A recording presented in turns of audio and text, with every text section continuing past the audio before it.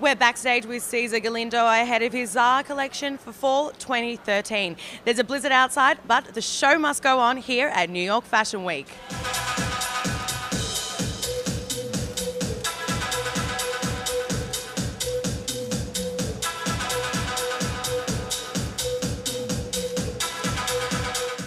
Last night you presented the Cesar Galindo collection. This morning it's Zara and there's a blizzard outside. How are you feeling? Actually, you know, on not cab right here, I was like, if I could cut a hole in the ceiling, it would great. The snow would be a great prop for the runway.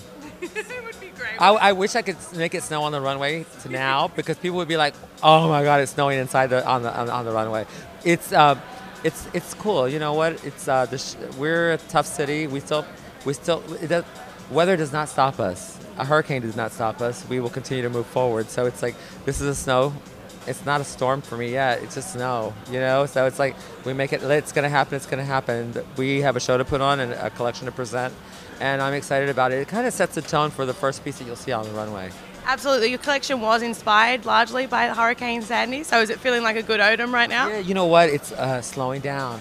Slowing down. Slowing down. It's about embracing the moment and living in the moment. And I think that's God just putting a little sprinkle on top of my my, my thoughts, you know. Absolutely. He's cheering you on. Your collection life in, yeah, in a good way, yeah. Go go go Cesar. Your collection life suspended really shows a different side of your personality as a designer. What are you most excited to show? Uh, I'm ex- I'm excited to tell the story. You know, it's like a poetic story that's put on the runway, and it's uh, it's uh, it's different for me.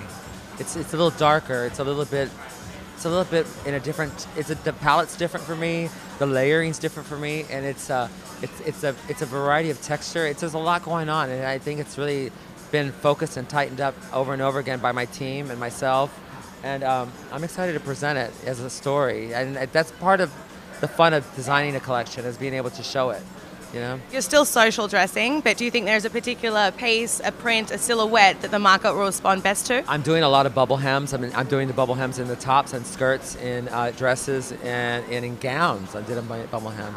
And I did it in my collection for Cesar Galindo, and I'm doing it in Zara. Uh, I'm doing, I feel that's a, a, a part of the relaxed attitude of being fluid. And, uh, and then I have a lot of layering pieces and I'm doing some really fun faux fur too. So it's there's a lot going on, but it's it, it all is a it's more of a collectible item driven collection where you want to be uh, impulsively the owner of the piece, you know, where you want to collect it and keep it. I, I think the biggest compliment for any designer is when someone doesn't want to get rid of what they have of yours, and that's part of the of the, uh, the goal of this collection. Is just like you know you want to have a collectible, you know you are pushing the boundaries and you have an interesting collaboration with Beth Beverly, a yeah. taxidermist. Is artist collaboration something you want to do again in the future? I love to collaborate with artists. I, uh, my jewelry designer is Jane Ruska. She designed the, the taxidermy. We did glass eye taxidermy eyes in the oh runway. God. They're beautiful. They're wow. they're hand painted eyes, and they're that's part of it's the, that's part of the Schiaparelli inspirational part of what we're doing as far as like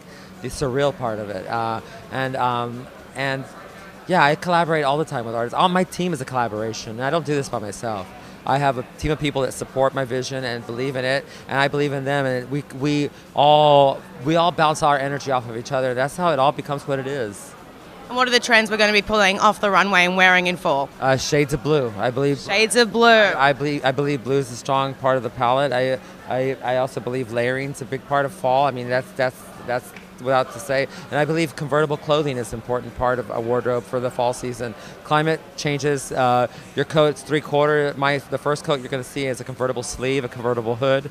Uh, it becomes a different piece for you, so you can play with your clothing. Absolutely. And finally, you're one of the busiest men, I think, at Fashion Week. What's next for you? We know you're going back to reality TV. What else can we expect to see? Um, I want to. I really want to. I really just want to become a global brand. You know. Uh, well, I want to be, and I want to distribute to the globe. You know, we got picked up by some incredible stores last season, uh, uh, in Russia, in Singapore, and in Paris, and, and even in the even in the Caribbean. But I want to get to more people. I want people to wear my work. You know, that's the biggest compliment any designer could have if someone's collecting your work and and living it. And it's part of their life. You know, so. Global got domination with Cesar Galindo. There we go. Global domination. Why not? Why not? Thank you.